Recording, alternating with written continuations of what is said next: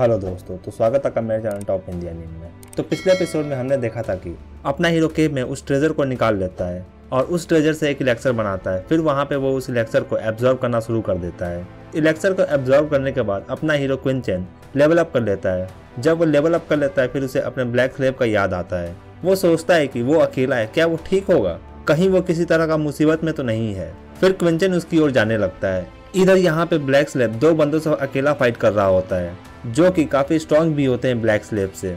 ये वही बंदे हैं जो अपने हीरो को मारना चाहते हैं।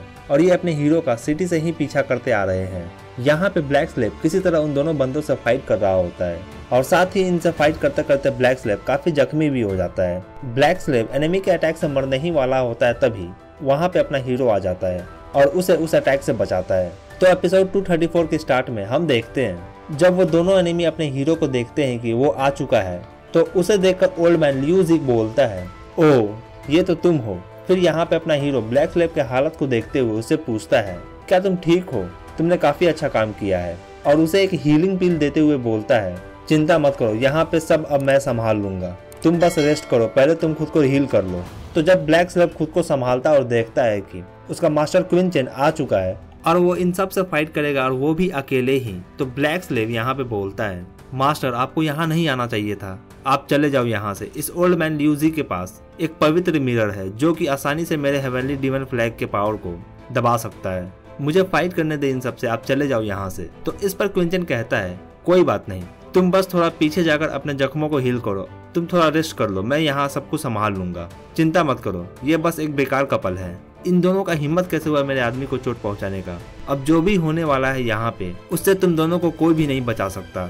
इस धरती के नीचे या इस धरती के ऊपर, या हेवन और हेल में से कहीं से भी तुम्हें कोई बचाने नहीं आएगा। तो अपने हीरो की इस लाइन को सुनकर दोनों हंसने लगते हैं। फिर इस पर वो बंदा बोलता है, बच्चे, जब तुम मेरे हाथों से कुछ देर बाद मरोगे तो मैं भी देखता हूँ कि तुम क्या उस वक्त भी इतना एरोगेंट रहोगे या नहीं? ये लाइन कहने के बाद वो बंदा अपने हीरो क्विंचन पे अटैक करना शुरू कर देता है।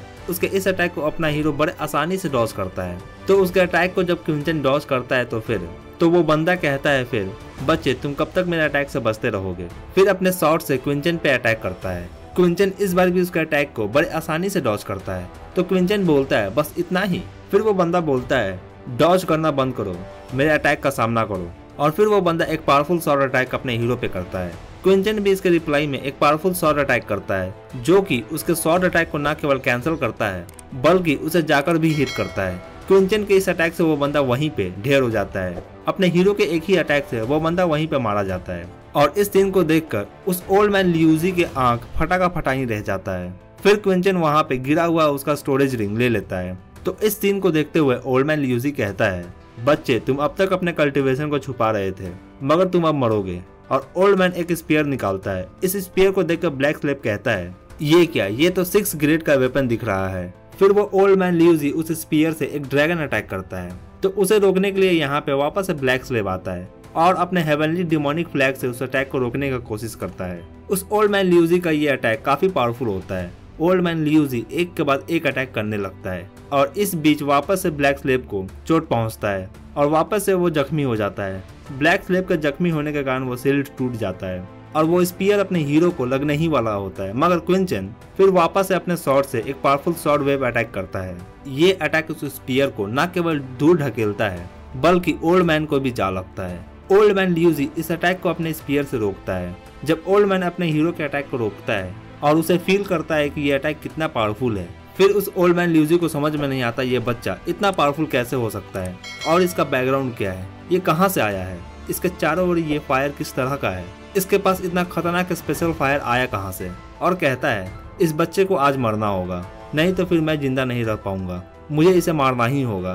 फिर यहाँ से दोनों के बीच में फायर शुरू हो जाता है। इस बार ओल्ड मैन ल्यूजी अपने पावर को इंक्रीज करता है। और फिर क्विंचन पे अटैक करता है। वो अपने उसी ड्रैगन टेक्निक को यूज़ करता है, मगर मगर इस बार उसका ये टेक्निक काफ़ी पावरफुल होता है। मगर फिर भी क्विंचन इस ड्रैगन टेक्निक को अपने शॉर्ट से रोक लेता है, और वो ओल्ड मैन पे अपने शॉर्ट वेव से अटैक करता है। दोनों ही अपना बेस्ट मूव यूज़ कर रहे होते हैं इस फाइट में। फिर कुछ देर बाद हम देखते हैं, वो ओल्ड मैन ल्यूजी इस फाइट में हारने लगता है, और इस फाइट के दौरान ओल्ड मैन ल्यूजी को चोट भी आता है। उसके अटैक और पावर को देखकर क्विंचन कहता है बस इतना ही ताकत से तुम मुझे मारना चाहते हो, क्या मज़ाक है? उसके इस बात से ओल्ड मैन ल्यूजी काफ़ी गुस्सा हो जाता है और वो काफ़ी चिढ़ भी जाता है। और फिर हम देखते हैं, उसके हाथ में एक पिल होता है। ओल्ड मैन ल्यूजी उस पिल को खा लेता है और उसके बाद उसका पावर इंक्रीज होने लगता है। तो इस सीन को देखकर ब्लैक स्लेब कहता है, ये तो पावर ब्रस्टिंग पिल है। थोड़ी देर के लिए इस पिल से किसी का भी पावर इंक्रीज हो जाता है। इंक्रीज पावर के साथ ओल्ड मैन ल्यूजी क्विंचन पे अटैक करता है। इस बार ओल्ड मैन का ये अटैक पहले से काफ़ी पावरफुल दिख रहा होता है। मगर फिर भी इस अटैक को भी अपना हीरो बड़े आराम से रोक लेता है। और जब क्विंचन ओल्ड मैन पे अटैक करता है फिर ओल्ड मैन क्विंचन के अटैक को ज़्यादा देर नहीं रोक पाता। और वो इस अटैक के कारण घायल हो जाता है। जब ओल्ड मैन ल्यूजी को ये समझ में आता है कि वो क्विंचन से जीत नहीं सकता, फिर वो वहाँ से भागने लगता है। उसे भागता हुआ देखकर क्विंचन उस पर एक मेंटल अटैक करता है। इस मेंटल अटैक के कारण ओल्ड मैन ल्यूजी का बैलेंस बिगड़ जाता है और वो सीधा नीचे आ गिरता है। जब ओल्ड मैन ल्यूजी के पास कोई चारा नहीं होता सिवाय फाइट करने का तो फिर वो आखिरकार अपना पवित्र मिरर का यूज़ करता है। हम यहाँ पे देखते हैं कि ल्यूजी अपने पवित्र मिरर के पावर को अपने स्पीयर में यूज़ कर रहा होता है। वो दोनों के पावर को कंबाइन करने का कोशिश कर रहा होता है।